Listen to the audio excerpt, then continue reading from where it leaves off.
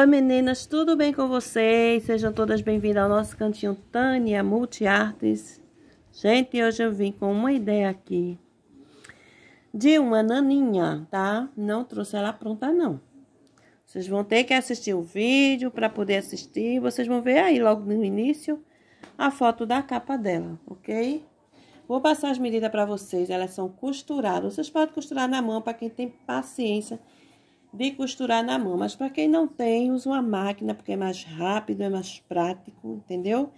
Vou passar as medidas para vocês. Vou mostrar o molde, não tem como eu deixar o molde aqui. Eu fiz meu próprio molde. Toda vez que eu vou fazer uma naninha, eu faço sempre um molde. E às vezes faço maior, faço menor. É, eu não guardo o molde, tá, meninas? Não guardo porque é muito papel para estar tá guardando. Então, o molde fica guardado na memória mesmo. Não sei até quando, né, fica guardada a memória, mas fica. Deixa eu só mostrar aqui a vocês o molde que eu fiz, tá? Deixa eu só botar o nome aqui, as medidas nele e volto aqui. Então, voltando, olha, eu peguei uma folha de papel ofício, usei ela todinha. Ela tem 21 centímetros por 30 centímetros, tá vendo? Corta ela duas vezes, é o corpo. Olha, duas vezes. Pronto, uma folha de ofício para fazer o corpinho tá? Ela tem 30 centímetros por 21. Corta duas vezes no tecido. Olha, vou deixar só a foto desses daqui no final do vídeo. Eu não tenho como deixar o molde. Olha, esse aqui é os pés. Ele tem 5 centímetros nessa direção. E daqui pra cá, ele tem 10 centímetros e meio o pé. Esse aqui é a orelha. Ela tem 5 centímetros assim, e assim ela tem 12 centímetros. E a mão, que é os braços, né? Os braços, a mão é uma coisa só, 4,5 assim, por 10 centímetros assim, tá? Olha, vejam aí, quiser printar aí. Pronto. Esse. E esse aqui. Mas vocês, eu vou deixar só a foto, viu, menina? Não tem como eu deixar molde aqui, não. Então, vocês vão cortar no tecido. Olha, já cortei aqui no tecido, eu vou costurar. Eu pego aqui o molde, tá? Risco em cima do tecido. Deixa eu olhar, ver que molde é esse aqui, é o da orelha, olha. Eu vou fazer ela toda de uma cor só. Eu botei o molde em cima, risquei, tá? Dobrei o tecido aqui no meio, tem que ser quatro vezes, né? Duas, dois desse e dois do outro, porque é, é, as duas orelhas. Então, cada orelha ela tem duas bandinhas. A mesma coisa são os pés e os bracinhos, tá? Por isso vocês vão cortar quatro vezes, mas no caso vocês dobram o tecido, risca, corta e costura. Eu vou fazer isso costurado ali na máquina, volto com ele costurado e enchido aqui para vocês verem como ficou o resultado. Bom, meninas, voltando aqui para a montagem do da naninha. Vai ser um cachorrinho, né? Então, vocês pegam aqui o lado direito do tecido. Aí, eu já costurei aqui, olha, as partezinhas. Esse daqui é a orelha. Já enchi. A orelha não precisa a gente encher muito não, viu? Então, que vocês vão pegar nessa parte aqui de cima, olha. E vai colocar aqui as orelhinhas, tá? E vai prender com um alfinete, ok? Isso antes de fechar o bonequinho. Olha, vocês vão ver aqui. Eu vou colocar aqui embaixo, porque aqui eu vou passar a costura, né? Então, deixa eu ver onde é que tem mais alfinete. Aí, eu venho com a outra aqui, olha. Posiciono, tá? Vejo se as medidas realmente tá certinha de um lado e do outro. Aí, aqui, vou subindo e vou colocar aqui os bracinhos. Olha, vamos fazer assim. Aqui o bracinho, isso tudo pra dentro, viu? Nessa altura aqui, ó. Aqui tá a orelhinha, aqui tá o bracinho, tá? Aí, enche também ele, desavessa, costura, desavessa e enche. Olha, e vai prendendo ele. Deixa eu só procurar uma posição aqui melhor pra eu estar tá mostrando a vocês. Peraí. Olha. Eu nem tiro a medida aqui, mas é por causa do costume de fazer. Mas pela altura aqui da orelha, vocês vão saber a altura de colocar o bracinho, ó. Entendeu? Pela altura da orelha, vocês sabem a altura do bracinho, certo? Nem precisa tirar a medida aqui, ó. Aí, prende aqui com alfinete também. Todos eles. Aqui embaixo é os pezinhos. Tudo pra dentro do, do tecido, tá? Então, bra, o, os braços, os, né, os pezinhos, a gente vem na direção aqui da orelha, ó.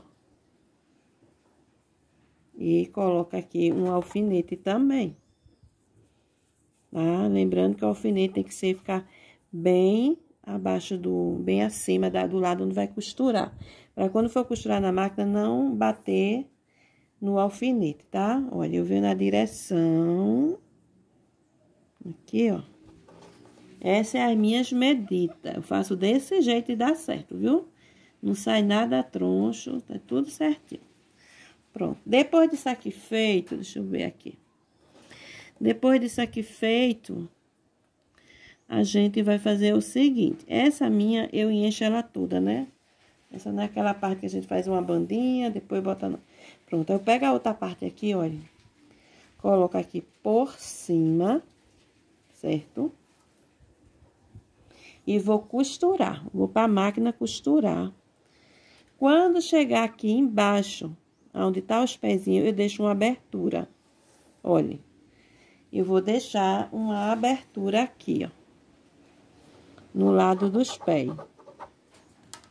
Tá vendo aqui? Já marquei aqui, ó, uma costura. Costura não, um risco. Então, vou costurar até aqui. Vou costurar esse lado também até, olha, daqui pra cá e daqui pra cá. E essa aqui vai ficar a abertura, onde a gente vai encher ele, desaversar pra encher. E os outros lados todinho, os lados onde tá os bracinhos e a orelhinha, acompanhando tudinho, a gente vai costurar todinho, tá? Eu volto aqui com vocês já já. Meninas, voltando aqui com a naninha já toda costurada e cheia. Olha, tá toda cheinha. Olha aqui os pezinhos. Aqui é a orelhinha. Vocês podem até encher menos do que eu enchi, tá? Olha. Toda costurada. Aqui embaixo, onde eu deixei a abertura, ou vocês passam a costura aqui, olha, na máquina.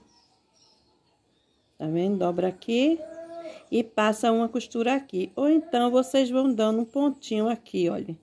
Com a linha mesmo. Pode fazer até ponto invisível. Que é aquele pontinho que a gente dá uma pontinho em cima e outra embaixo. Assim, dessa forma, olha. Tá vendo aqui? Então. Vai fazendo isso, ó. para costurar, na, isso for na mão, né? Mas se vocês quiserem passar a costura na máquina aqui, vocês podem passar, tá? Vocês podem passar uma costura aqui assim. Eu vou terminar essa costura aqui e volto. Pra gente colocar os olhinhos que vai ser de feltro. Eu já cortei aqui uns pedacinhos de feltro para fazer os olhinhos. Pra tá colando o focinho também. Vendo? Gente, vocês estão vendo uma claridade diferente aí no vídeo. É porque eu tô gravando do lado de fora da minha casa. Pra vocês verem que eu não tenho lugar certo pra gravar. Volto aqui com vocês. Então, meninas, voltando. Já costurei aqui o fundo da, da naninha. Eu vou fazer o olhinho de feltro, mas vocês podem estar tá fazendo de uma outra forma que vocês acharem melhor. Cortei, olha, eu vou olhar aqui a medida pela orelha, aonde eu vou colocar os olhinhos, tá? Vejam assim, ó. Então, vou botar um olhinho aqui, ó, e o outro aqui. É assim, tá vendo? Cortei no feltro. Aqui eu fiz um coraçãozinho de feltro também para fazer o focinho. Pode ser assim, né? Sim. Aí, eu venho com outra partezinha aqui do olhinho. Deixa eu ver onde é que eu vou colocar. Se é aqui. E o outro. Ou aqui. aqui. Tá vendo? E mais outra parte preta. A gente vai colando um no outro. Entenderam? Tudo aqui na colagem, olha.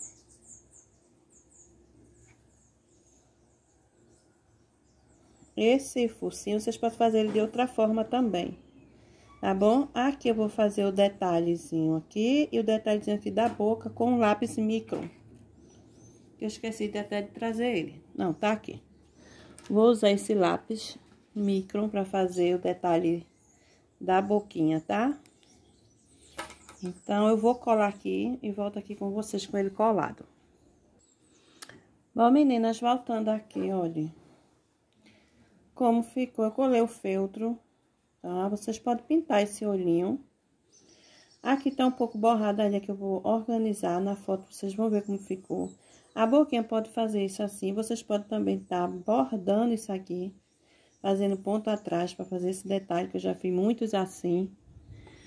Nessa boquinha, vocês podem estar tá colando um pedacinho de feltro assim. Olha. Ou então, dessa forma aqui. Assim, também. Ou então, deixar simplesmente assim, somente com a marcação aqui. Tá? Eu vou ver como é que eu vou deixar esse aqui. Ah, na, na foto vocês vão ver o resultado e como ele vai ficar. Essas orelhinhas, para não ficar também balançando, eu posso botar um pouquinho de cola quente aqui. Assim, olha. Quando for lavar, ela até que não descola não, viu? Que a cola até que ela cola bem. Olha, para não estar tá balançando tanto. Pra ficar assim arrumadinha. E aqui nas pontas vocês podem estar tá botando um lacinho. Aqui na orelhinha, olha. Tá vendo? Eu vou finalizar ele. No final do vídeo vai ficar a foto. Na capa também. Tá? Vou botar logo meus lacinhos aqui. Então, faça aí do jeitinho de vocês. Não é necessário fazer igualzinho que eu fiz. Eu não copiei isso de ninguém. Eu já sou acostumada a fazer essas laninhas. E todas as vezes que eu vou fazer, eu faço ela um pouquinho diferente das outras. Tem lá no meu Facebook, que é Tânia Maria, uma página de artesanato que eu mostro várias naninhas que eu fiz. E todas elas diferentes. Tá? Tem umas menorzinhas do que essa, tem umas maiores do que essa. É, eu nem lembro se eu tenho desse tamanho. Não sei se essa aqui foi a primeira que eu fiz nesse tamanho. Toda vez que eu vou fazer, eu sempre faço diferentes tamanhos, que eu não gosto muito de estar tá juntando moldes, não. Porque é muito papel, gente. É muito papel para molde. Então, a gente também tem que aprender a desenhar, a criar os nossos modelinhos também, para não estar tá juntando tanto papel, né? A não ser que vocês botem no drive na hora que for precisar, vocês imprimir, né? Quando for usar. Mas como eu ainda não tenho muito essa paciência, eu prefiro fazer do meu jeito, sem copiar pelo de ninguém. Posso até copiar, viu? Não vou dizer que eu não copio, copio também. Mas eu faço de tudo para fazer do meu jeitinho. Da minha maneira, tá? Olha como ficou. Tá vendo? No final do vídeo vai ficar a foto. Não esqueçam de visitar as parcerias, tá chegando mais uma. A Gilaços Variedade também confirmou parceria aqui no nosso cantinho né? Já tem, a minha primeira parceria foi de divulgação de canais, né? Que eu tô falando. Foi a da Altiva Variedade, depois é de Nova Artes e de Nova Lima. Agora, a Gilaços Variedades também está firmando parceria com Tânia Multiartes. Então, vou deixar sempre no link de todos os vídeos, na descrição, né, que diga o link dos três, dos dos quatro canais agora, né? São quatro canais que são parceira de divulgação de canais, então mais um aí chegando. Seja bem-vinda, Gil Laços e Variedades. Não sei se o canal dela vai continuar com esse nome ou se ela vai deixar só ali, só Gil Laços. Vamos ver daqui pra frente, certo? Então, muito obrigada por vocês estarem sempre aqui. Muito obrigada pelos comentários. Muito obrigada pelas novas seguidoras e tenha paciência de assistir meus vídeos aí. Que Deus abençoe a vida de cada um de vocês. Certo? Fiquem com Deus e até a próxima ideia. Vou procurar uma posição aqui melhor para vocês verem como ficou o resultado desta naninha. Eu ainda vou, como eu falei, ainda vou, deixar, ainda vou organizar isso aqui, porque eu fui riscar com a caneta micro, não gostei, porque ela é muito fina, só presta mais para bonequinha.